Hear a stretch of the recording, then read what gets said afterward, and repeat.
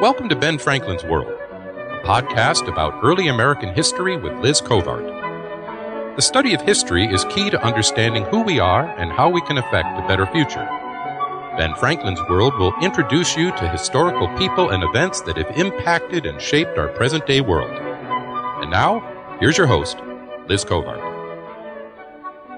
Hello, and welcome to episode 21 of Ben Franklin's World, the podcast dedicated to helping you learn more about how the people and events of our early American past have shaped the present day world we live in.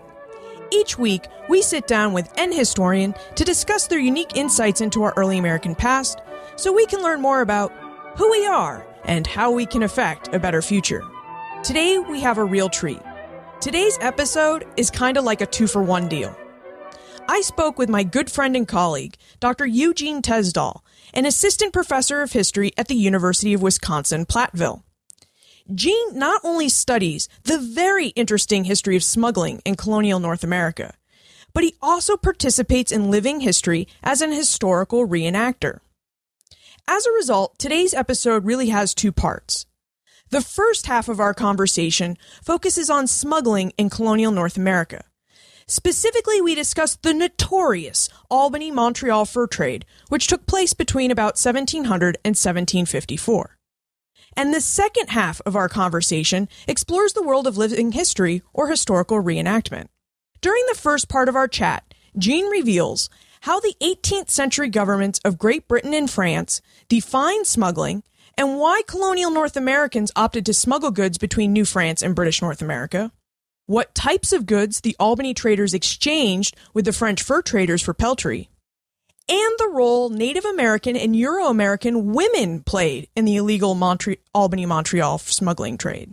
Now, during the second part of our exchange, Gene will help us dive deeper into the everyday lives of the French colonists in New France by discussing his participation in living history and how historical reenacting helps him better understand and convey early American history. Now, I hope you'll stay tuned to the end of this episode because Gene was also kind enough to recommend nine or ten books about the French and Indian War period so we can further our knowledge. I will tell you where you can find that list after our conversation with Dr. Eugene Tesdahl. With tidings and wisdom to share about our early American past, here is this week's special guest. Eugene Tesdahl is an assistant professor of history at the University of Wisconsin Platteville. He specializes in the history of French, British, and Native American empires in early North America. When not teaching or revising his dissertation, The Price of Empire, Smuggling Between New York and New France, 1700 to 1754, into a book manuscript, Gene participates in first person historical interpretation or living history of the French and Indian War era. Gene often portrays the composite character of an unlicensed fur trader or coureur de bois, Henri Francois Latanier. Gene believes that only by paddling birch bark canoes, snowshoeing, and camping in sub zero temperatures with only wool, linen, leather, and fur clothing to protect him can he gain valuable insight into the period and people he studies. Gene, welcome to Ben Franklin's world. Thank you, Liz. I'm happy to be here. Gene, we've known each other for a while. I was thinking before the show, like, when did we meet? 2007? 2008? I don't Must think it was any. have been 2008, I believe, in the Clements Library Archives in scenic Ann Arbor, Michigan. Yeah, I was on fellowship there researching my dissertation, and I'd been going through the Thomas Gage papers all day. And this tall, nice fellow came up and he says, Hey, do you want to grab a pizza and a beer? And that was just what I needed at the end of a day of looking at manuscripts all day. Me too, and I was looking at manuscripts regarding the illicit fur trade in in the Great Lakes, and both of us, I think, uh, found a lot of what we needed there at the Clements. Yeah, the Clements Library at the University of Michigan is an awesome place to research early American history if you ever have the chance. It is. So, Gene, why don't you tell us a bit about yourself and how you found your passion for early American history? Sure. Well, one phrase that really resonates with me, uh, Bernard Bailyn a noted historian said a few years ago in an interview, quote, but in any case, you don't have to be brought up on a pig farm to write, as Virginia Anderson, who grew up in a Connecticut city, is now doing about pigs and cattle in the 17th century. One can write with great acuity about things one has not personally experienced, end quote. And I start with that quote. It has resonated with me over the years because I, as you know, am the son of an Iowa hog farmer. And as you said in my intro, I don't write about hogs. I write about uh, French, British, and native nations in the 17th and 18th centuries. And uh, even my family, we are not descended of 17th and 18th century immigrants to North America. We're more recent arrivals. And yet I've been fascinated by this period since a very young age because this is an interesting time when the Atlantic world brings Native Americans, Africans, and Europeans together, not just in conflict, but often in compromise. And those ways are really exciting to see unfold. So, what brought you to the infamous, and it, I've read the records, it was infamous Albany Montreal fur trade between uh, 1700 and 1754? Sure. Well, as is so often the case in historical research or other research, we begin with a research question, and while we are pursuing the answer to that, we run into other things that seem more interesting or seem more confusing. So when I was researching mariage à la façon du pays, now many years ago, which is intermarriage between French men and native women, I found that there were all these footnotes and then often primary document references to le traite illégal or the contraband trade or the Albany trade or the Montreal trade in especially the early 18th century. And this fascinated me. Often there would be similar brief mentions of the trade. So, as you said, it was infamous, and yet sometimes it would not provide depth or complexity to what certainly had both depth and complexity. So, like like several other historians lately, uh, among them Kees Kees-Jan Waterman and Jan Noel, I decided to probe into this story further, and it has kept me busy. So let's explore this trade a little bit. So, as you know, Albany is really established in 1614 when the Dutch established Fort Nassau, um, or if you live in New York today, Fort Nassau as a Dutch fur trading outpost. They're they're there to trade with Native Americans to get peltry, and over time that outpost grows into the village of Beverswijk, later Albany after 1664, and they're already in the business of the fur trade. So why does this outpost, beginning in 1700, really have to look to Montreal and the citizens of New France to get their furs? Sure, this is a complex question. The the first thing, let's define smuggling. So, smuggling is trade outside a set of rules, and usually those rules are wrapped around a European nation state or some sort of controlling body. Contrary to what we might think today, those rules are not always aimed to restrict dangerous or immoral materials like weapons or tobacco or firearms oftentimes, especially in the colonial period of North America, they were aimed to protect the interest of the colonizing nation. This was mercantilism at its best. Colonies were designed to supply raw materials and markets for a mother country, and this then would leave most of the manufacturing and the profits back in Europe. In the case of the Albany Montreal trade of the early 18th century, this would then most directly profit England and France uh, and the metropoles thereof.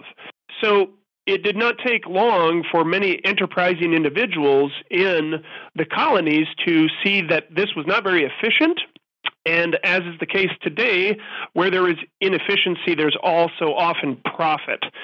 So, smugglers, uh, native, French, British, and after 1664, Anglo Dutch, uh, Dutch speaking people who were able to essentially acculturate there at Albany, they were able to thwart those distant imperial bureaucrats uh, who were tasked with policing smuggling, and they had a much clearer view of what life was uh, in New France, New York, and what the Haudenosaunee or Iroquois, often called Ganienka. And so from time to time, it was deemed that smuggling was either a benefit, and at that time it would not be uh, scrutinized, and at other times it was deemed that smuggling was a liability. So from time to time, there would be acts that were put in place to police this illicit trade and protect the interests of the colonies of New York or New France. Notably, on the British side, the Acts of Navigation and Trade in 1651 were meant to do this. They did not always do it, and uh, colonial officials did not only not always aim to enforce them. And a series of edicts in New France then were aimed to restrict smuggling and trade with outside parties. One of the most famous in this period was an edict issued by Louis XV in 1727. So, Gene, let's explore the Navigation Acts because you mentioned that the colonies, the, the idea behind the colonies is that they're supposed to supply raw materials to the mother country or fatherland. So, England passes these Navigation Acts. Would you tell us how that either facilitates or hinders the colony's ability to send pro- raw materials back to the mother country? Sure. So, for the most part, the acts of navigation and trade since the 17th century and into the 18th century, and these edicts to restrict trade in the French colonies, on paper, they look like they work very well. For the most part, in places like New York, you have in the 17th century furs and peltry, you have lumber, you have even commodities like ginseng and maple sugar going back to uh, Europe. New France, you have uh, those items and um, even some other items as well. And so, for the most part, this seems to certainly bolster the manufacturing sector of Europe. It also does a very effective job of hampering the development of a manufacturing sector in New York and New France. And since this is all wrapped up with transatlantic trade uh, to a certain extent, it's also wrapped up with forms of labor control from indentured servitude to chattel slavery, uh, slavery both of sub Saharan West Africans and especially in New France of native peoples. It's also wrapped up in the fact that while both Albany and Montreal are linked into these transatlantic trade networks by the early 18th century, that beaver populations, especially in New York, have dropped drastically by the 18th century. And while you have explained how the Dutch had traded for furs well before the English period. Some of those Anglo Dutch families were able to perpetuate this myth of beavers right in the heart of Albany into the 18th century. And so that's part of why this smuggling corridor uh, grew and ultimately came to thrive in the early 18th century. So the Navigation Acts really require, and the, and the trade edicts from France as well, really require these furs. They're designed to send furs and these other valuable commodities back to the mother country before they start trading them within the colonies. What goods are the smugglers trading amongst each other? We know that the Dutch or the Dutch English are getting furs from the French, but what are the Dutch and Dutch English sending to the French colonists of New France for the furs? Sure, and that's a a good question.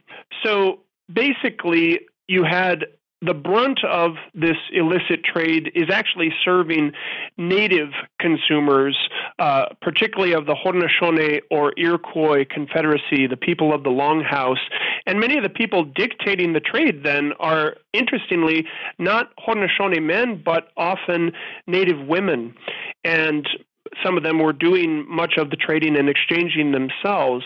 In New France, we even have a uh, cast of both uh, single and married women as well who are doing more of this trade than their English counterparts. Among them, some that I have studied are Marianne, Marie Madeleine, and Marguerite de Saulnier, who were sisters. We also had a, a prominent widow, Catherine Dagneau, uh, who was also a prominent smuggler. And uh, a figure who at times was in Montreal and at times was in Albany was Geneviève Massé Lydius, who was quite a prominent figure as well. And so these smugglers on both sides um, native French, Anglo Dutch, and English, they often wanted some of the same things from furs. They wanted woolens, and particularly woolens textiles and finished clothing are in fact the highest amount of things that are being traded both legitimately and as contraband in the 18th century at both Albany and Montreal. Where Albany comes in to the picture here is that in the 18th century, English woolens are generally already of a much higher quality than uh, French woolens. And also in the 1720s, there is a bout of bubonic plague that spreads in the south of France in Montpellier, which in fact then is where the woolen industry in France was located. This really decimates French wool production that was already deemed inferior to English wool production. So not only is British wool better, it's also in much higher quantity in the early 18th century. And so there's there's woolens, uh, there's other tools, and uh, to a certain extent weapons. There's also brandy, which is being trafficked in this trade, although in comparison to the textiles, all of this is much smaller. The textiles are over 80%. And part of what is fascinating to me then is while many of these goods are going to native consumers, particularly those who are dominating a more robust beaver population in New France, also then you have French and British colonists who are also tapping into this trade as well and are eager to get access to these goods. One of the aspects of your research that really fascinated me was the fact that the Albany Montreal trade was conducted and facilitated by so many French and Native American women. Would you tell us about the de Saulnier sisters and John Henry Lydius's wife um, and how they became involved in the trade and what their roles were? Sure. And uh, first off is to say that, in fact, while some of the figures who come into best view at this time are some of these French women uh, or French Canadian women. There were many more, several hundred Haudenosaunee and other Native American women who were very prominent in this trade as well. Uh, sometimes these were mere porters, as they are described at the time, transporting the goods and furs. At other times, they are growing into petit marchands or traders themselves, and it, sometimes it seems a few of them were able to even get much more successful than that. So it's important to note that while some of these native women do not come into such sharp focus, that in fact their contributions in many ways are much more significant.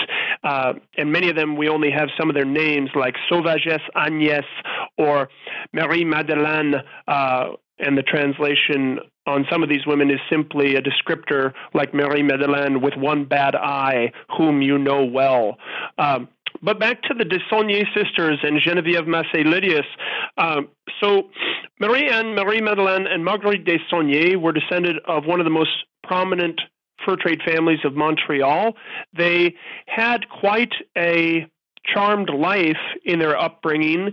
And interestingly, then in 1725, these young women all in their uh, 20s are permitted to open a fur trade post at the French Jesuit mission of Sault Saint Louis, what uh, some bands of Mohawks are already calling Nulganawage uh, by 1725. And this village is on the south bank of the St. Lawrence River just outside of Montreal. So it was very near where the Desaulniers sisters grew up, and the mission had been there since the late 17th century. It had moved once, and the establishment of Sault Saint Louis was very significant in the uh, contraband trade, but also in Haudenosaunee life and culture. So in 1725, these Desaulniers sisters were able to establish the post partially due to the influence of their brother and uh, their father, both known as Pierre Trottier Desaulniers. Uh, and on the face of it, it was suggested that this mission was these young unwed women. Uh, it was their opportunity to help the Jesuit priests at Sault Saint Louis minister to the mostly Mohawk uh, people there at Sault Louis. But in fact, it's clear by even 1726 that this is a very robust trading post. It also becomes clear by even the late 1720s that the Desaulniers sisters are often having a trade house that's full of textiles, woolens, uh, China, uh, even Delftware that is not coming from Montreal. It's coming 196 miles to the south at Albany uh, on what I have called the Riverine Highway.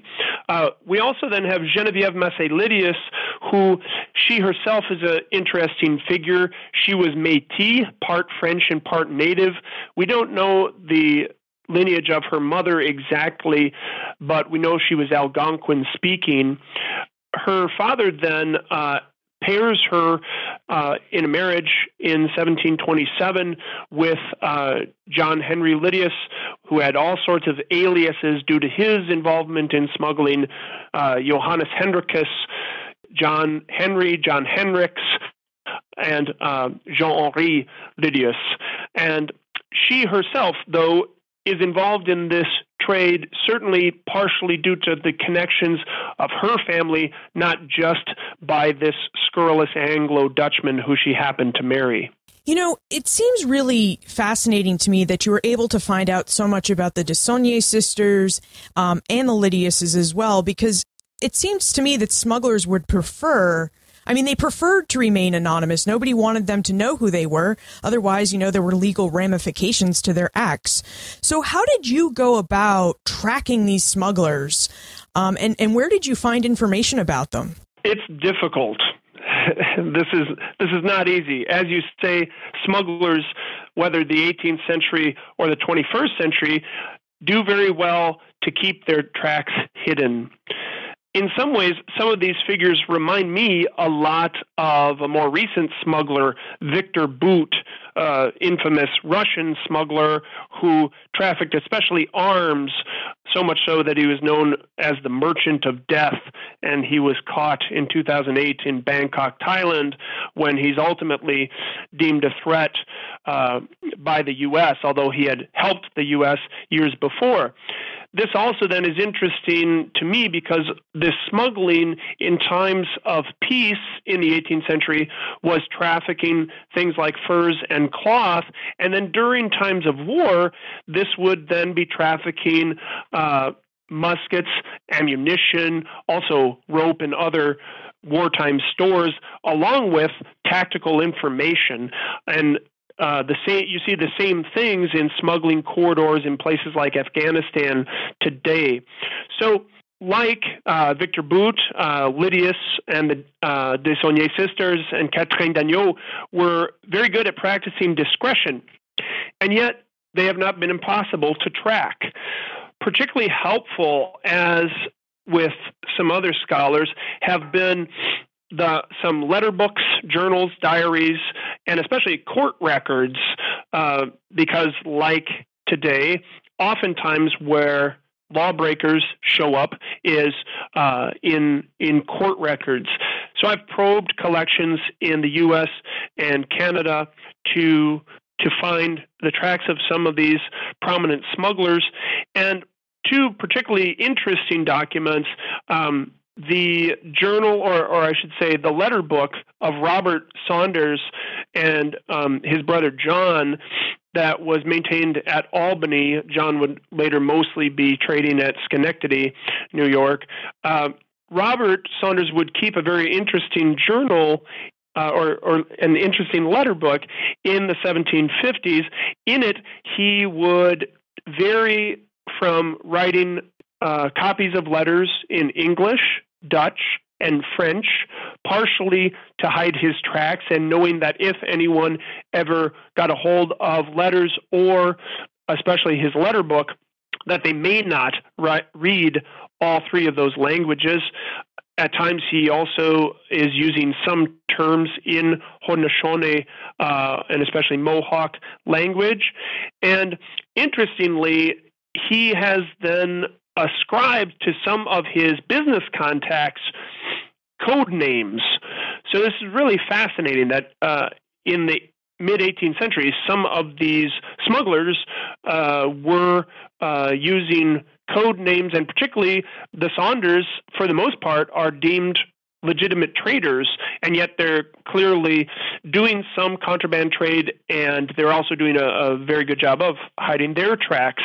Um, and so some of the um, contacts that Saunders uh, protects, and in the process protects himself, some of them are native, and so they are uh, given ideograms, drawings uh, that are like a signature for some of these people, from a smoldering pipe to a uh, partridge.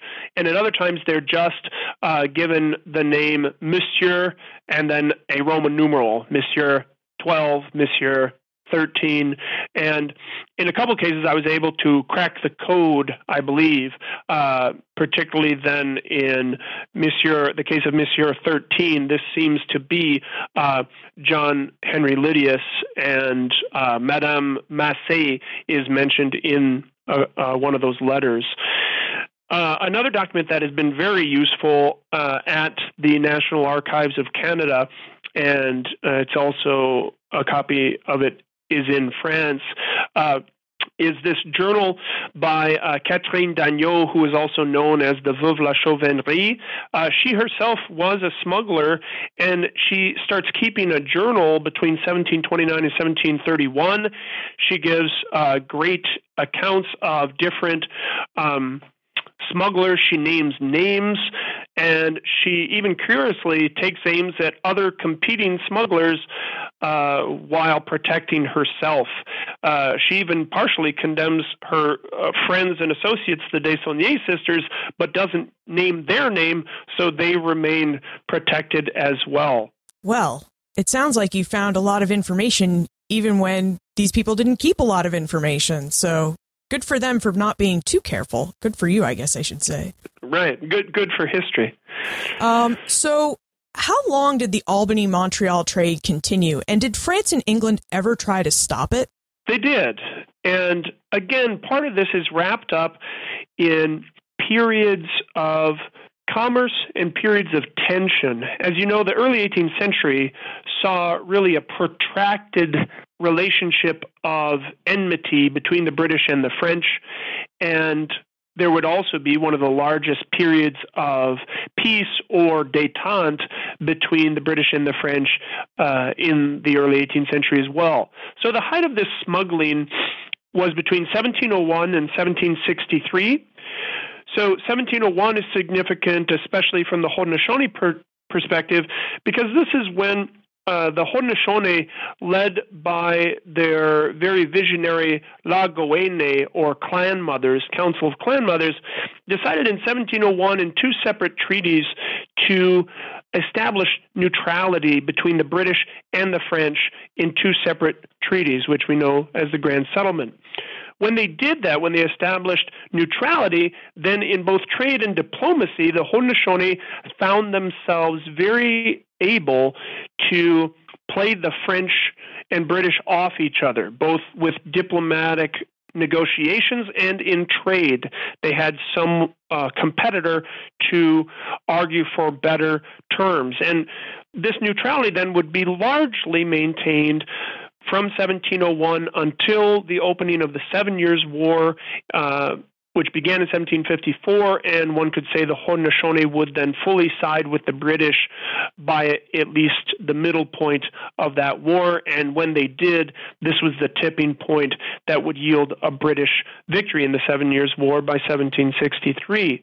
So the smuggling would go on throughout this period, and during times of war, as in uh, Queen Anne's War, uh, from 1702 to 1713, and again in King George's War, 1744 to 1748, I have been very fascinated to see that the smuggling, even trafficking furs and woolens, continues during those wars, but then the smuggling carries on different meanings during wartime.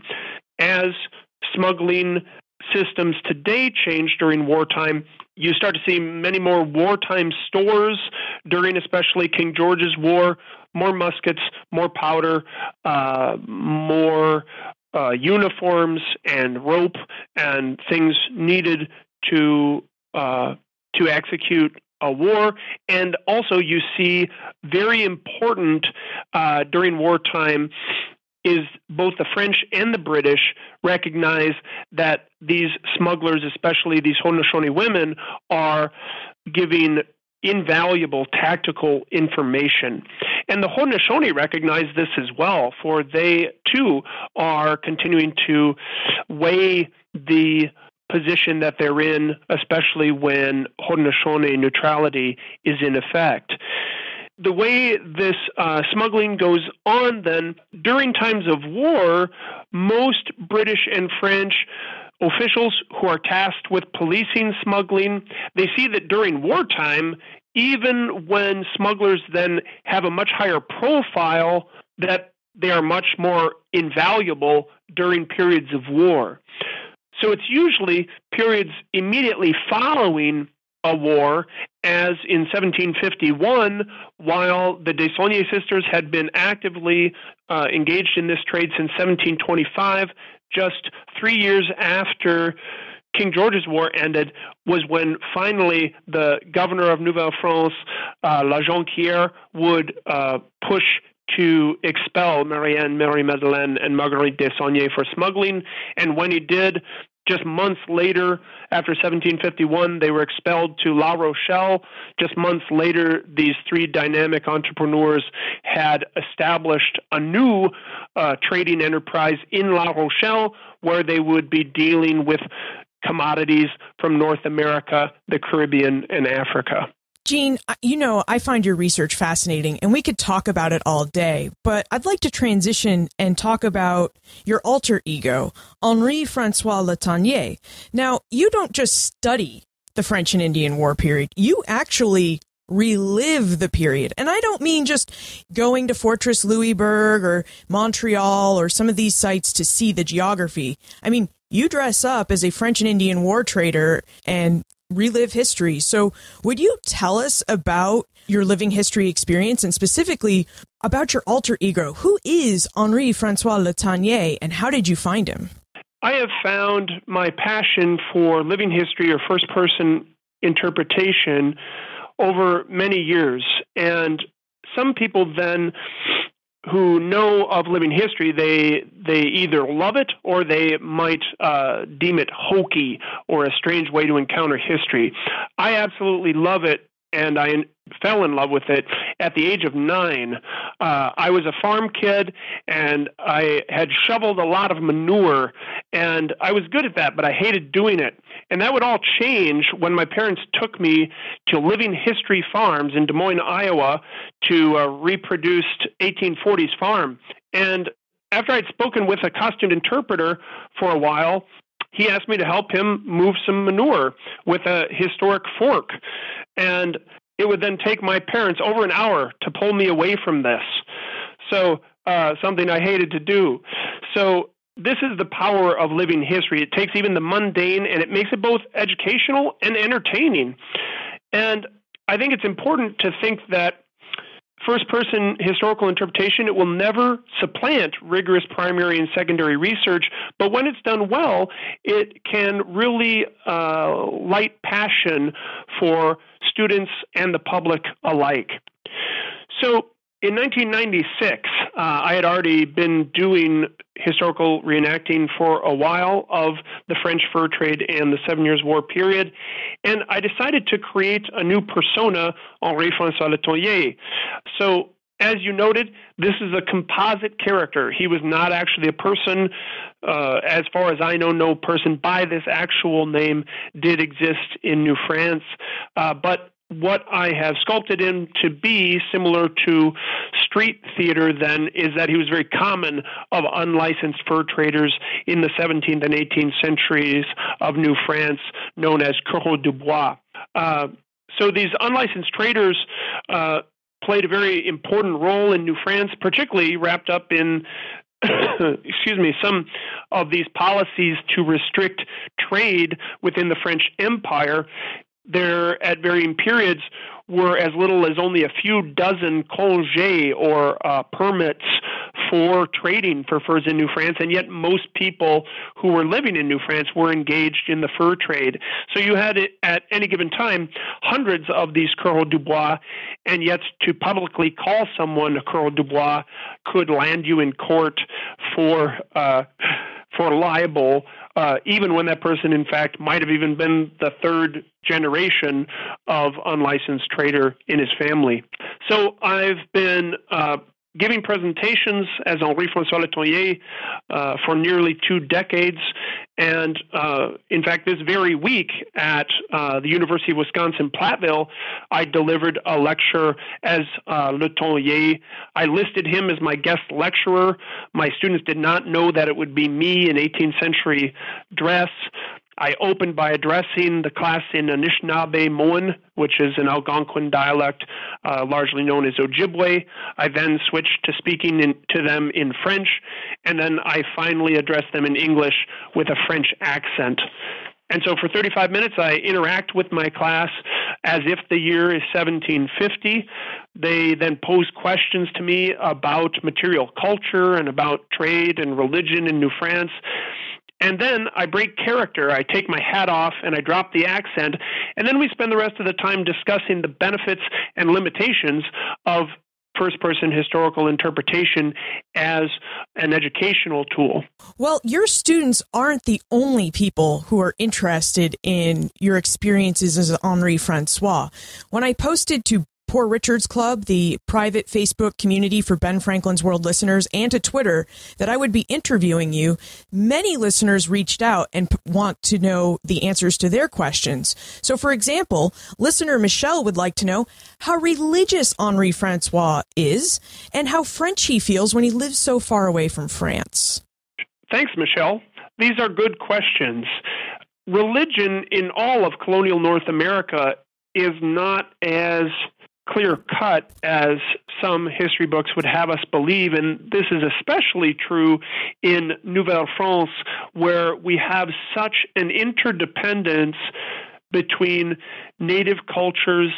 Uh, mostly Algonquin speaking cultures and French culture uh, in New France. And that also then spreads to religion. So, Henri, like most actual coureurs du bois by the early 18th century, he uh, then largely sees himself as Catholic. Uh, when I dress as Henri, I wear several uh, St. Anne's medals, uh, which are cast off originals, often from archaeological sites. St. Anne was the patron saint of mothers and sailors, but by the 17th century, she's also then deemed the patron saint of engagés or French voyageurs, of canoe paddlers.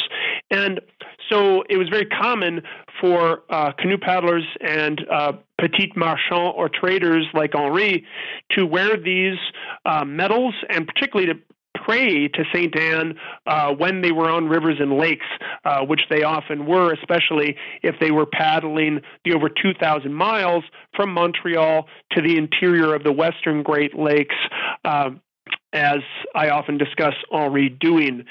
what's interesting is that many Algonquin speaking nations, like the Odawa or the Ojibwe or the Potawatomi, are also uh, largely uh, Catholic or at least baptized uh, by the 18th century, and many of them are are wearing uh, Saint Anne's medals. And there's even a great depiction of some Huron children in a painting from the late 17th century, where as their canoe is sinking in this painting, they are praying to Saint Anne to to save them. Uh, Henri then also wears uh, a native uh, amulet, um, which is made of brain tan deerskin and uh, is decorated with folded and dyed porcupine quills, known as quill work. And it was then very common for uh, uh, de like Henri, to also then uh, be very aware of uh, native cosmology, particularly the Algonquin speaking belief in Manidoo or spirit, that uh, most things, animate or inanimate, would have uh, spirits that would need to be respected, uh, particularly when paddling on, say, uh, La Mer Douce or Lake Superior. The notion uh, and awareness of a uh, creature uh, known as the Geechee Pichu or the underwater panther was something that both natives and um, many, many French Canadians uh, observed and aimed to uh, aimed to honor anything they thought would keep them from being capsized. So, Michael would like to know how Henri Francois lives and what he eats. Thanks, Michael. So, uh, Henri, being a a Creole, uh, born French heritage, but born in North America, uh, saw himself certainly as uh, a, an active member of La Nouvelle France, and um, food then is an interesting topic, uh, particularly then whether uh, a Bois like Henri, whether he would be at his uh, stone home in Montreal, uh, which he might be during the winter months, or if he is living in the interior, uh, something that was called living en dérouine. Um, so while he was trading, uh, he would be living with Algonquin speaking and other native peoples, and so uh, eating much more uh, of food common to them. And he would also partially be trading with Native people, particularly Native women, for food and sometimes clothing, especially moccasins, for himself and also those young engagés or voyageurs who were helping him paddle birch bark canoes loaded with trade goods coming from Montreal or back to Montreal loaded with furs. And so, uh, one thing about food, Michael, is that for the most part in the 18th century, roasted meat uh, was very popular by both. Uh, Canadians and uh, natives. And so, uh, roasted meat, particularly wild game, uh, you saw this even in Montreal as well as in uh, Anishinaabe Odena in Ojibwe villages. You'd have duck, venison, beaver, and buffalo. Uh, and again, sometimes that would be on plates in Montreal as well. And in Montreal, you would have certainly more beef and pork, uh, even salt pork uh, packed in, in lard and uh, shoved into barrels. Sometimes this would be taken from Montreal, but again, it would not last long. So when when French fur traders were traveling into the interior, into uh, upstate New York and further west into the Great Lakes, uh, you saw them particularly turning to many more native foods, uh, or wild rice or mashkigiman, uh, cranberry, usually dried cranberry, and uh, zinzibaquad, zinzibaquad, uh, maple sugar uh, that you would get in cakes from native peoples.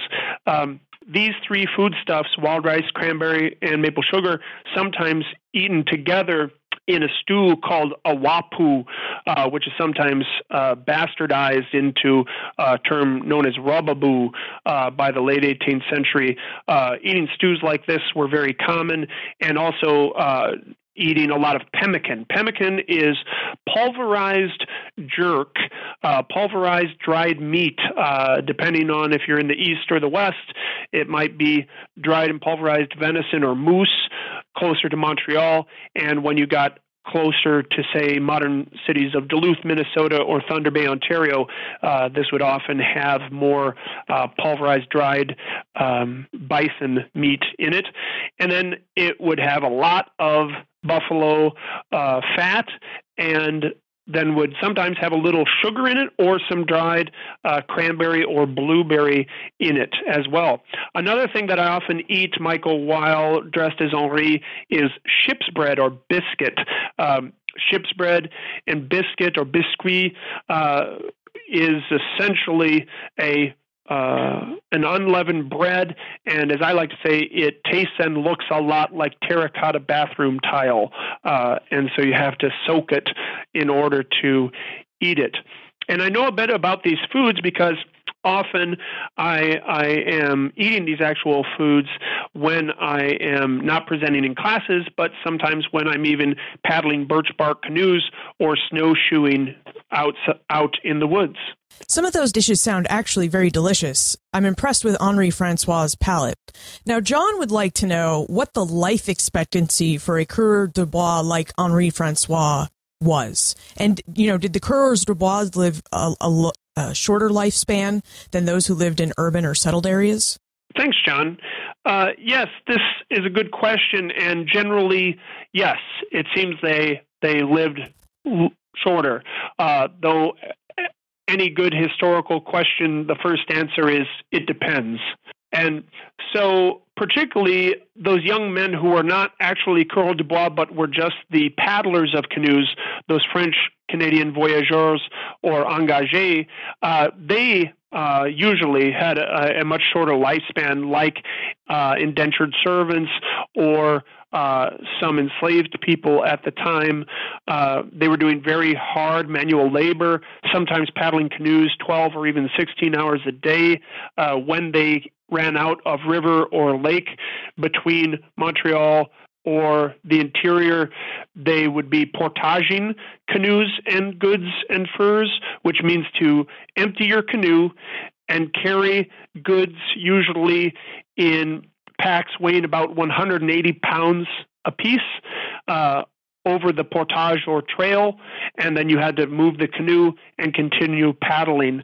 So this was very rigorous work, and it's what one of my uh, colleagues, Carl Koster, has called uh, voyageurs the over the road truckers of the 18th century, which uh, really deems how much of the culture of New France kind of um, viewed voyageurs. They they did not respect them very much, and like Coureurs Dubois, then they um, didn't necessarily mind that their lifespans might have been shorter, but they also recognized that uh, even when the Coureurs du Bois were essentially, in a way, uh, smuggling or at least breaking the uh, edicts meant to prevent too much uh, trading for furs, they knew that it was part of the economic lifeblood of New France. And so, uh, a figure like Henri, he might have died in his 30s, like many engagés did, or he could have lived to his 50s or a bit older, and particularly if he was able to get out of the trade uh, and if not retire, then do more trading from uh, Trois-Rivières or Quebec or Montreal, then that, of course, uh, would be a very different story that uh, might have him enjoying a little more stable life on the stone streets of Montreal. Now, Gene, this is my question. Henri Francois has been known to paddle birch bark canoes upstream, snowshoe through the woods, and camp in sub zero temperatures with just period clothing. I would really like to know about these experiences and how they help you better connect with and better understand the 1700 to 1754 period that you study. Sure, Liz. Full disclosure, though, I have never paddled a birch bark canoe upstream, and I hope never to. But over the past two decades, I have logged over 1,000 miles paddling birch bark canoes.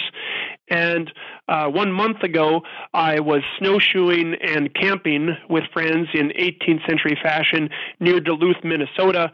One of the nights it was 10 below. Oh. And a few years ago, I was in fact uh, camping when it was 30 degrees below zero without wind chill.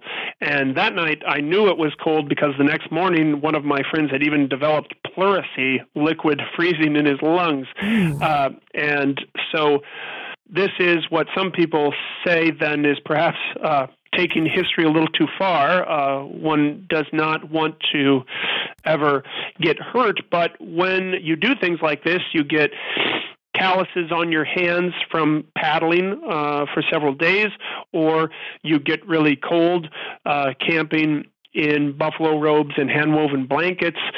Uh, this this might give you a little closer appreciation of what 18th century life was actually like. One thing that I think is important that while I, I certainly love doing this, and as I said, for me, first person first person historical interpretation. Sometimes it's done at historic sites, and sometimes I present it as an educational tool in the classroom or to community groups.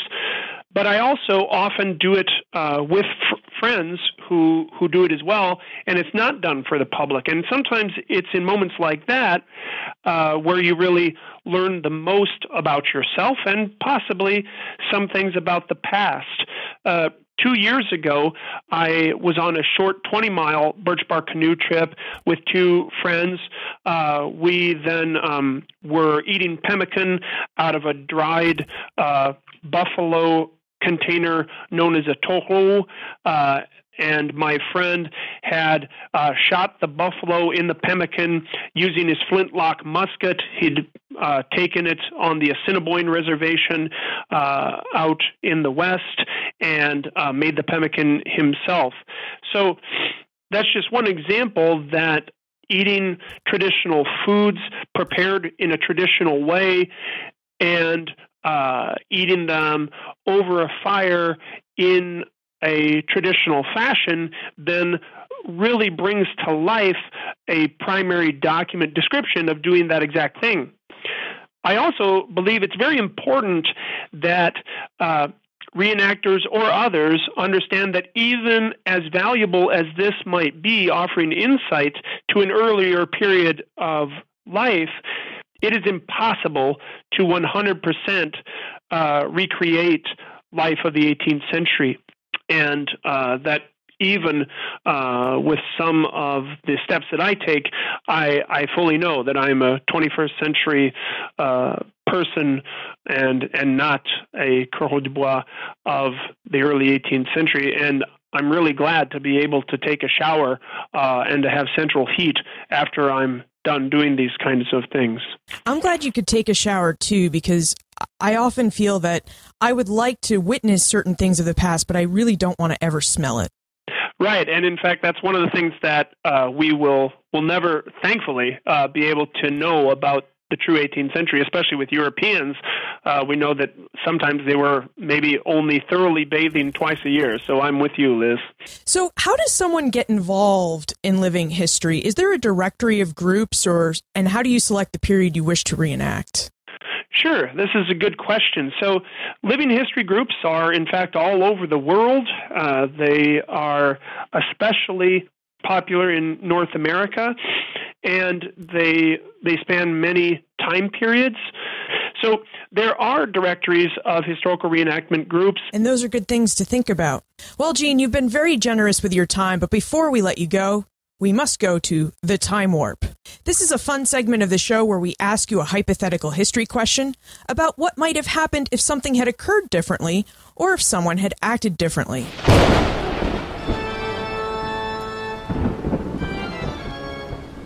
The time warp. Historians can't predict the future, but they can speculate about what might have been.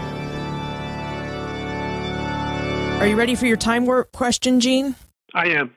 All right. In your opinion, what might have happened if the governors of New York or New France had stopped the Albany Montreal fur trade before the French and Indian War? What would the impact have been on Native American and colonial societies in New York and New France? This is a great question. And and indeed at times perhaps this this nearly happened. And it's the role of contingency that makes the consideration of some counterfactuals then very worthwhile. So, for instance, if that edict issued by Louis XV in 1727 had actually completely stopped the flow of goods, furs, and information from New France to New York and vice versa, many things would have been different. In many ways, life and communication between Haudenosaunee, French, British, and Anglo Dutch people would have almost nearly stopped.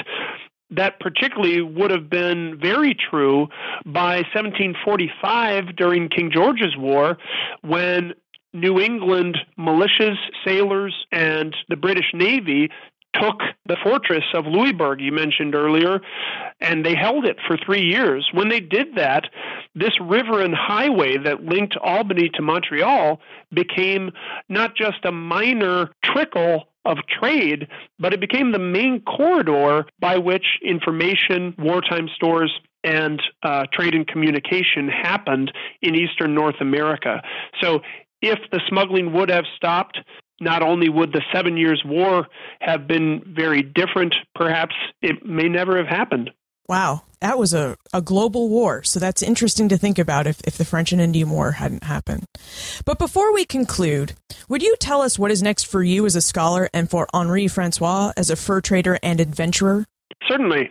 So, for me as a scholar, I currently have three articles under review in peer reviewed journals. And of course, uh, like most historians, I am constantly working on a book manuscript. Uh, my current one is in process and it is addressing smuggling between New York and New France. I am uh, expanding it from my dissertation so that it will cover the period 1701 until the end of the American Revolution, 1783. And particularly then, it will show a big change then from uh, 1701 till uh, after the post uh, Seven Years' War period, when when the smuggling was was uh, decreasing considerably. As for Henri, he will be uh, appearing occasionally in my classroom as always. And this summer, I plan to be on the shores of Lake Superior at Grand Portage National Monument, which is uh, a fine haunt for Henri, although it pushes uh, him out of the purview of the Seven Years' War to the to the modern era of 1793. And where's the best place to look for more information about you, your work, and how to get in contact with you? Sure. Uh, I am easily found at uh, uwplatt.edu, the University of Wisconsin Platteville. And if you go to that website and search my name, Eugene Tesdahl, you will find my faculty bio there under the History Department's webpage. And you won't even have to search for it because we'll include a link to it in the show notes page. Well, Gene, thank you, thank you so much for joining us today on Ben Franklin's World. I really enjoyed our conversation. As did I. Thank you, Liz. Smugglers often fly under the radar of society. They just don't want people to know what they're up to. And yet, amazingly enough, several early American smugglers left a paper trail behind that scholars like Gene Tesdahl have used to uncover interesting and exciting details about this illegal early American world. Such as the fact that women conducted most of the smuggling along the Albany Montreal trade. I'm also grateful that Gene shared his insight into living history with us. Because I don't know about you, but I have often thought about what it would be like to have lived in colonial, revolutionary, and early republic America. And it seems like historical reenacting provides a good approximate way to gain even further insight in what it would have been like to live as an early American person. You can find information about Gene, his research, plus everything we talked about today on the show notes page for this episode, which you'll find at benfranklinsworld.com slash 021. Also included in this week's show notes are Gene's recommended reading list for the French and Indian War period. There are nine or ten books listed there that you may want to check out, especially if you're interested in furthering your knowledge of the period. If you would like to submit your questions for an upcoming guest historian, you should join Poor Richard's Club, our private social community for Ben Franklin's World listeners hosted on Facebook. To join, visit benfranklinsworld.com and sign up for the Franklin Gazette, a weekly newsletter that contains the show notes for each episode, as well as a link to join Poor Richard's Club. To ensure that you never miss an episode of Ben Franklin's World, you should subscribe. You can now subscribe to Ben Franklin's World via iTunes, Stitcher, Spreaker, Agogo, TuneIn Radio, and now iHeartRadio. There are a lot of options there, so you can check them all out by visiting benfranklinsworld.com slash subscribe. And finally, if you were thinking about participating, or if you do participate in living history, I would love to know what period you would like to reenact. Please share your answers with me via liz at benfranklinsworld.com or tweet me at Liz Covart. And remember, never leave till tomorrow that which you can do today.